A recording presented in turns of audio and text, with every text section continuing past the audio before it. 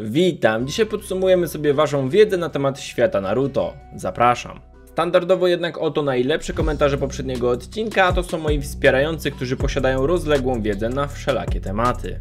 Przez ostatnie 25 tygodni zadawałem Wam pytania na karcie społeczności, które od samego początku miałem zamiar wykorzystać w takim materiale. Co prawda plany się nieco zmieniły, bo chciałem pociągnąć to do końca roku, jednak mam już problem z tym, żeby formułować pytania, które dotyczą samego świata, a nie postaci. No i YouTube mi tego nie ułatwia, bo w odpowiedziach może być jedynie 65 znaków, więc muszę się mocno ograniczać. Ci, którzy nie odpowiadali w ankietach, mogą to zrobić teraz i podsumować swoją wiedzę. Lecimy.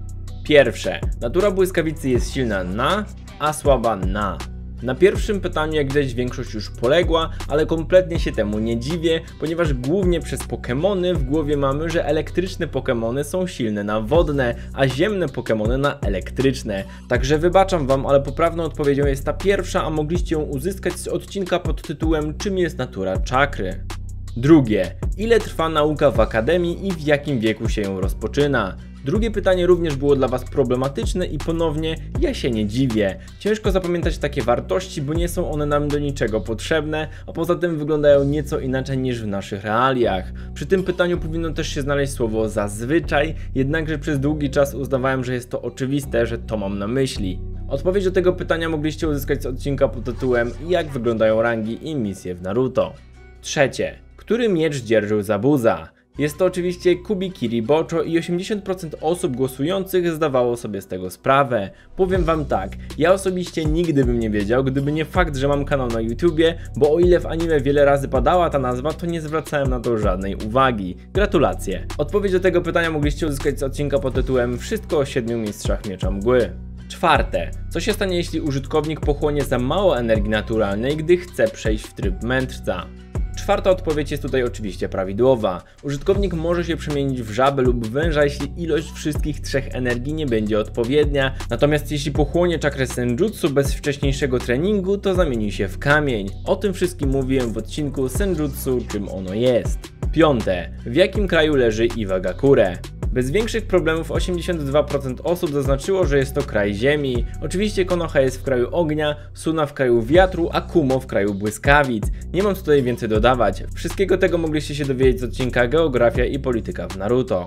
Szóste. Wybierz odpowiednią kolejność ogoniastych bestii względem liczby ogonów. Jest to oczywiście odpowiedź trzecia. Shukaku to jednoogoniasty, Matatabi 2, Isobu 3, Son Goku 4, Kokuo 5, Saiken 6, Chomei 7, Gyuki 8, Kurama 9. Było to powtarzane wiele razy w Naruto, ale szerzej o bestiach mówiłem w filmiku o tytule Nie zgadniecie, ogoniaste bestie. Z taką kropką nienawiści. Siódme. Czym jest Kekei Genkai? Ostatnia odpowiedź jest prawidłowa i zaznaczyło ją aż 97% osób, co najwidoczniej było darmowym punktem. Co ciekawe jednak, to łączna ilość procentów w tej ankiecie to 101%, więc to oznacza, że Kekei Genkai jest zbyt potężne. Więcej o Kekei Genkai dowiecie się z filmu, a jakże wszystko o Kekei Genkai. Ósme. Z iloma rasami naraz można podpisać kontrakt przywołania? Tutaj tak jak poprzednio prawidłową odpowiedzią jest ostatnia. Ciekawi mnie tylko dlaczego 16% głosujących, czyli około 2400 osób zaznaczyło odpowiedź z jedną. Niejednokrotnie w anime osoby przywoływały różne zwierzaki. Dla przykładu Sasuke przywołuje jastrzębie oraz węże. Odpowiedź na to pytanie była zawarta w filmiku Wszystko o no Jutsu. Dziewiąte. Co się stanie jeśli Shinobi A użyje techniki opierającej się na naturze Ziemi o mocy 500, a przeciwnik B skontruje ją techniką opartą również na naturze Ziemi o sile 600? Odpowiedź najdłuższa jest prawidłowa i bardzo ciekawa, ponieważ gdy użytkownik używa techniki o tej samej naturze, ale z większą mocą, to nie dość, że wygra pojedynek na ninjutsu, to jeszcze wzmocni swoją technikę. Tego również mogliście dowiedzieć się w filmiku Czym jest natura czakry. 10. Na ile przywoływacz podpisuje kontrakt z przywołańcami daną rasą zwierząt? Tutaj większość zaznaczyła opcję trzecią, czyli do śmierci przywoływacza i jest to błędna odpowiedź, ponieważ kontrakty nigdy nie wygasają same z siebie, co oznacza, że jeśli ktoś podpisał kontrakt ze zwierzęciem, zostanie zabity, a później wskrzeszony przez Edo Tensei, to ponownie będzie w stanie przyzwać swojego przywołańca. To również było mówione w filmiku Wszystko o Chiyose no Jutsu. 11. Jak można dostać się do organizacji Anbu w Konohagakure? Tutaj po raz kolejny większość nie miała problemu z wyborem prawidłowej odpowiedzi, czyli oczywiście drugiej, ponieważ Anbu, przynajmniej w Konoszce, są wybierani przez Hokage, o czym szerzej mówiłem w filmiku Wszystko o Anbu i korzeniu. 12. Czy osoba spoza klanu Nara może nauczyć się technik wiązania cieniem? W tym przypadku nieco źle sformułowałem odpowiedź prawidłową, ponieważ w teorii nauczycielem nie musi być ktoś z klanu Nara, a po prostu ktoś, kto potrafi te techniki. Jednak to nie przeszkodziło ponad 11 tysiącom osób zaznaczyć prawidłową odpowiedź, a można było ją znaleźć w filmiku Wszystko o Jutsu, rodzaje wymagania podstawy. 13. Czym jest kinjutsu? Są to oczywiście techniki zabronione, choć tutaj znaczenie tego słowa jest mało trafne. W każdym razie większość zaznaczyła prawidłową odpowiedź, którą można było uzyskać również w filmiku Wszystko o Jutsu, rodzaje wymagania podstawy. 14. Co się stanie, jeśli natchniemy broń naturą błyskawicy?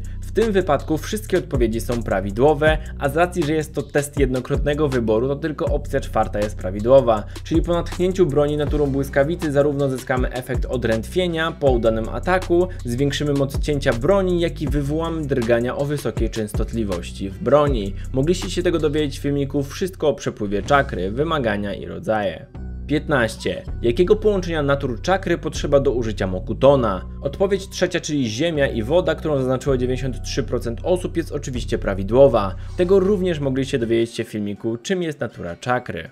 16. Jakie działanie ma Beni Hisago? Tutaj zdecydowanie większość się wyłożyła, bo to trzecia odpowiedź jest prawidłowa. Beni Hisago może zaabsorbować wyciągnięte słowo duszy. Tak naprawdę nie dziwię się, że tak mało osób zaznaczyło poprawną odpowiedź, ponieważ ja sam w życiu bym tego nie wiedział przed tworzeniem swojego odcinka. Właśnie w nim, czyli w filmiku Wszystko o narzędziach mędrca sześciu ścieżek mogliście się tego dowiedzieć. 17. Co można przywołać za pomocą techniki Kchiyose no Jutsu? Tutaj wszystkie odpowiedzi są prawidłowe. Za pomocą tej techniki można przywoływać zarówno narzędzia ninja, jak i stworzenia martwe, czyli chociażby wskrzeszeńców Edo Tensei oraz zwierzęta, które były najczęściej wykorzystywane przy używaniu tej techniki. Oczywiście można było się tego dowiedzieć w filmiku Wszystko o Kchiyose no Jutsu. 18. Jakie misje zazwyczaj otrzymuje Chunin, nie licząc sytuacji wyjątkowych? Tutaj się już nieco zabezpieczyłem i nauczyłem się, żeby dodawać takie rzeczy jak sytuacje wyjątkowe, żeby zaraz ktoś mi nie wyskoczył, że przecież Naruto Genin robił misję rangi S. W każdym razie odpowiedź druga jest prawidłowa. Chunini zazwyczaj dostają misję rangi C i B. Można było się tego dowiedzieć w filmiku o tytule Jak wyglądają rangi i misje w Naruto. 19. Do jakiej kategorii przypiszemy techniki polegające na użyciu mieczy? Jest to oczywiście kenjutsu, z czym jak widać większość sobie poradziła doskonale. Mówiłem o tym filmiku Wszystko o jutsu, rodzaje wymagania podstawy. 20. Jak trenować kontrolę czakry?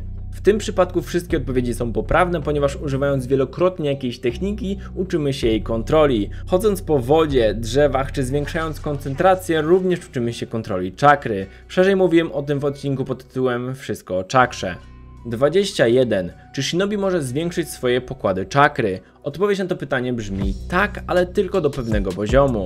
Każdy z Shinobi ma indywidualne predyspozycje do zwiększania pokładów czakry. To pytanie jest podchwytliwe, bo odpowiedź druga też po części jest prawidłowa, ale słowem klucz jest tutaj jedynie. Trzecia opcja jest kompletnie nieprawidłowa, ponieważ czakra Shinobi z wiekiem słabnie, a nie się powiększa. Również o tym wszystkim mówiłem w filmiku Wszystko o czakrze. 22. Która z sześciu ścieżek bólu potrafi absorbować czakrę? Odpowiedzią jest oczywiście Gakido, ale tutaj zrobiłem coś odwrotnego, ponieważ to pytanie pojawiło się przed filmikiem, który tłumaczył wszystkie ścieżki. Ciekawi mnie jak wyglądałyby wyniki po filmiku, czy wyjaśniłem to na tyle jasno, że udało wam się zapamiętać, która ścieżka co robi. W każdym razie mówiłem o tym filmiku wszystko o sześciu ścieżkach bólu. 23. Gdzie leży Kirigakure względem Konohagakure? Prawidłowa odpowiedź to na wschodzie, o czym wiedziało 79% osób. Co ciekawe, pomimo że mapę świata Naruto widziałem może 5 razy w życiu, to z automatu wiem, że właśnie tam się znajduje ta wioska. Szerzej o geopolityce mówiłem w filmiku Geografia i polityka w Naruto. 24. Ponadprzeciętna kontrola czakry powoduje, że użytkownik ma predyspozycję do genjutsu oraz technik medycznych. Tym przypadku odpowiedź druga jest tą prawidłową. Choć w komentarzach zdania były podzielone, a więc wyjaśniam. Taijutsu prawie nigdy nie potrzebuje czakry. Ninjutsu potrzebuje, ale kontrola ma znacznie mniejsze znaczenie niż ilość czakry. Po prostu gdy ktoś użyje jakiegoś ninjutsu posiadając słabą kontrolę, to zmarnuje więcej czakry. Natomiast w przypadku genjutsu oraz technik medycznych kontrola czakry jest kluczowa. Z tego też powodu w opcji pierwszej i trzeciej celowo dałem taijutsu, aby drogą eliminacji dać odpowiedź drugą. Szerzej o tym wszystkim mówiłem w filmiku Wszystko o czakrze. 25. Czy genjutsu może zranić przeciwnika fizycznie? To pytanie na sam koniec zrobiłem podchwytliwe. Odpowiedź prawidłowa to ta pierwsza. Nie może. Ale można by rozkminić nieco odpowiedzi i zaliczyć każdą odpowiedź. Przeanalizujmy każdą z nich. Nie może, ponieważ genjutsu jest to jedynie iluzja, a więc nie rani przeciwnika w żaden sposób. Opcja druga, może, ale tylko mózg. No jakby nie patrzeć, za pomocą genjutsu ninja kontroluje przepływ czakry w układzie nerwowym celu, a więc można z jego pomocą kontrolować użytkownika i zmusić go do zranienia siebie samego, czy też można wykończyć przeciwnika tak jak to zrobił Itachi z Kakashim, który później zbierał się kilka dni w szpitalu. Jest to trochę naciągane, bo jednak w chwili rzucania genjutsu fizycznie w żaden sposób nie rani to celu. Opcja trzecia, czyli może, ale tylko konkretne techniki genjutsu jest również prawidłowa, tylko że w filerach. Niektórzy użytkownicy klanu Kurama byli zdolni do rzucania genjutsu, które miało wpływ na rzeczywistość, więc z jego pomocą mogli nawet kogoś zabić. I ostatnia odpowiedź, czyli wszystkie są prawidłowe, również może być prawidłowa. Mam pełną świadomość, że niektóre osoby się zebulwersują, że łe, tam druga opcja naciągana, a filery się nie liczą, ale ja uznaję tutaj każdą opcję, choć trzeba mieć na uwadze, że najsłuszniejsza jest ta pierwsza. I to były wszystkie pytania, które Wam zadałem. Ile z nich trafiliście? Pochwalcie się w komentarzach. Zabawa naprawdę mi się podobała, ale tak jak już mówiłem, sam nie jestem w stanie ogarnąć tak wiele rzeczy i nie przychodzi mi na myśl nic innego jak powtarzanie pytań w nieco innym wydaniu. Na przykład, gdzie leży Sunogakure względem Konohagakure, ale to jest praktycznie to samo, co gdzie leży Kirigakure względem Konohagakure. Dlatego biję się z sobą, żeby nie robić właśnie takich ankiet. Jeśli natomiast ktoś jest chętny na kontynuację tych pytań, może do mnie napisać na Discordzie, link w opisie. I to już by było na tyle. Jeśli interesuje Was więcej materiałów z Naru, to zapraszam jak co niedzielę o 12 na kolejny odcinek. Nie zapomnijcie lajkować, dać łapkę w górę i polubić ten filmik.